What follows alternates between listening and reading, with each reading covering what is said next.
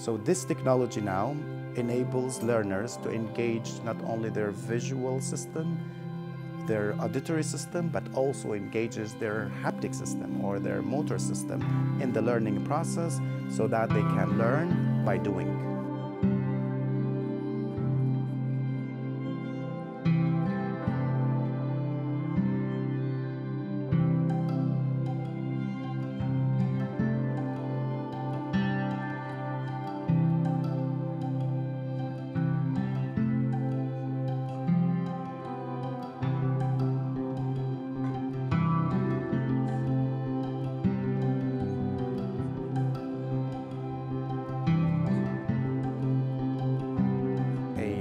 Stylus, which is free to move without being attached to a robotic arm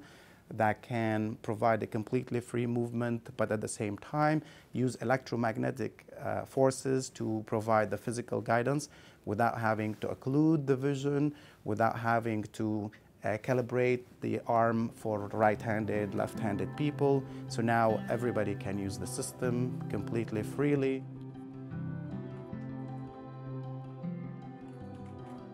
If we get the results that we want, then I think the next step will be to try to push for commercializing this technology because we would love to see schools, even parents buy this technology and use it even at home.